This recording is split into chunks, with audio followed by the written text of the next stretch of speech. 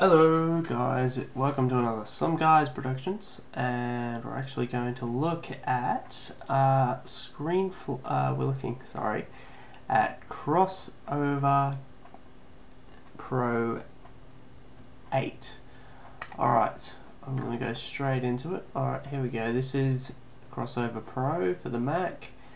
Uh, so Crossover Pro, this is version 8 because we're 8 10.0.1 because we're running off Snow Leopard.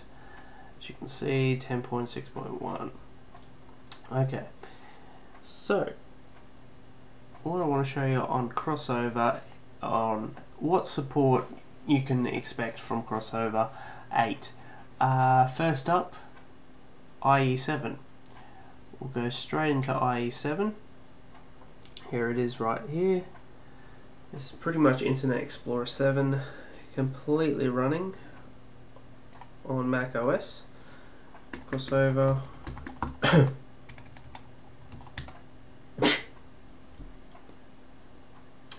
so yeah, you just go straight in, you can tab, you can do whatever you would do on Microsoft. Uh, Microsoft go straight into the Microsoft site. No issues. You got pretty much everything you want on Intex on IE7 so there we go. That's one application. You can run pretty much any application you want on uh, crossover 8 so if we go into what's another one that we can go into? You can also access all your uh, applications directly from Crossover's program menu. So we'll go into Microsoft Office Visio 2007, bring that up. There you go, it just runs up uh, beautifully as usual. So you can pretty much do everything you want to do. You can save it directly to uh, a location. You can open up pretty much your uh, desktop. It pretty much views everything you can see you go straight into the Mac desktop. As you can see. So yeah that's pretty much it. In terms of crossover this is crossover Mac Pro 8 so this is actually quite good. Now the other thing I want to sh show through briefly is uh, crossover games 8.0 as well. There's a few other bits of support you can have there so let's go into that now. Uh, alright we'll go on Steam first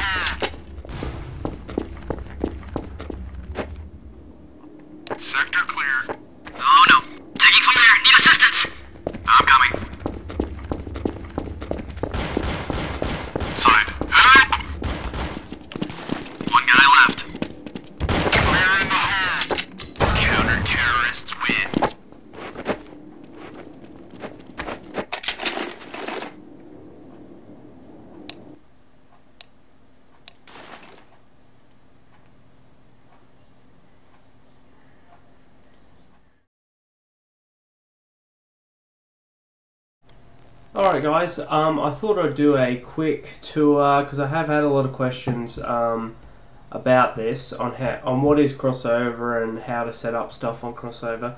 Um, you've seen pretty much already about uh, introduction to the new the new parts of crossover Mac Pro 8 and also crossover games. So I'm just going to dive straight into it. I'm in crossover games uh, version 8. You can see here, crossover games version 8. This is what you need to have if you want to run it on Snow Leopard. So, uh, pretty much in order for you to install games like Steam, Guild Wars, whatever, any type of Windows game, uh, you pretty much either want to start off in this section here. This is the easiest way that you can do this straight up. There are other ways of doing it, but in Crossover, this would be the easiest way to do it in Crossover. You go to Crossover Games Installer. Right, as you can see there are pre-existing ones. You can actually just click on either Steam by download and just click on one and go continue. It'll ask you what to do with it, uh, create a new bottle. Um, you need to importantly create a bottle for this so you can have a Windows XP one, Windows Vista one, whatever. Um, so I'm not going to go through it because I've already got um, Steam installed. but you can also go install unsupported software. This allows you to have software installed that's not in that list basically and this allows you to do the same thing and you can also do that as well. You can add as many as you like to whatever bottles you like or have as many bottles as you like. Um, it's all it's really good to have it on the one bottle sometimes because then it's actually faster and everything like that. You don't have to load so many bottles. So as you can see from this, uh, that's the quickest and simplest way of being able to use crossover. And that then allows you to manage bottles from here. You can go to your applications, you can uninstall or repair applications. Um, you can delete a bottle which will pretty much essentially get rid of all applications relating to that. Uh, Advanced allows you to config bottles. You can even open the C drive of a bottle. So uh, it'll allow you to go straight in program files. You can do your modifications if you need to. So if you go to Guild Wars, um, it's just like a pretty much same directory as you would have um, on pretty much Windows, uh, except it's natively running off uh, Mac OS. Um, so yeah, you got Mac apps. You can just copy them straight over and just move on straight into Steam.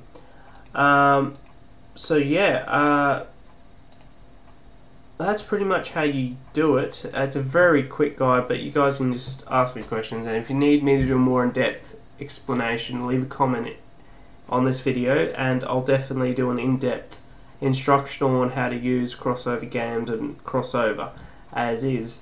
You don't even you can actually just have shortcuts of your um, crossover games, so you don't have to go into crossover um, first and then select from the uh, programs menu you can just actually you can actually just say um, I'm going to close off crossover games because we go into uh, Internet Explorer for example that's in crossover uh, for Mac uh, Pro 8 if I click on that